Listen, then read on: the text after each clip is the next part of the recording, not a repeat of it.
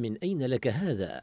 قانون طال الحديث عنه في العراق منذ سنوات ولم يجد طريقه لتفعيله والعمل به وفق هذا النص جملة عراقيل افتعلتها كتل سياسية عرقلت تمريره لكونها تدرك أن شرره لربما سيطالها حال المصادقة عليه نظرا لإمكانية استخدامه كأداة ابتزاز تضرب أحزاب السلطة بعضها البعض القانون روجت له النزاهة البرلمانية اليوم على أنه تشريع جديد سيحد من الفساد ويتابع تضخم أموال المسؤولين في الدولة رغم أن نواته موجودة ضمن قانون هيئة النزاهة رقم 30 لسنة 2011 والذي لطالما كان مجرد حبر على ورق وفق مراقبين لما تضمنه من إجراءات وصفوها بالشكلية والتي لم تطبق على أرض الواقع. والنتيجة كانت ضياع نحو 400 مليار دولار من أموال العراق كمبالغ هربت إلى الخارج وأخرى أهدرت على ما يقرب من تسعة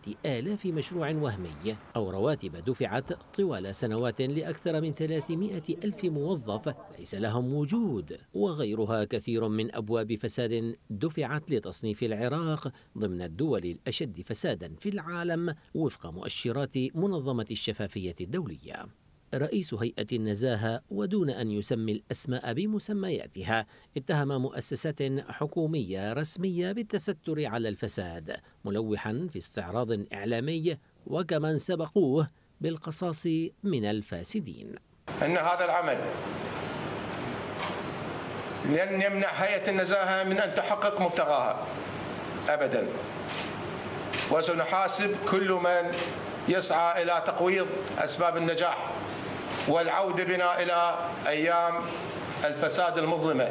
العراق لن يعود إلى أيام الفساد المظلمة كما يقول رئيس هيئة النزاهة حيدر حنون دون أن يتطرق لأبشع صفقة تسوية جرت قبل أيام فقط. أعفيت بموجبها أحزاب السلطة من أموال سلف تسلمتها وزارات كانت بعهدتها قدرت بنحو 160 تريليون دينار مقابل تمرير أسوأ موازنة مالية كما يصفها صندوق النقد الدولي. فالفساد على ما يبدو. ليس فسادا بنظر حكومة الإطار إن كان الأمر بتوافق وقبول سياسي.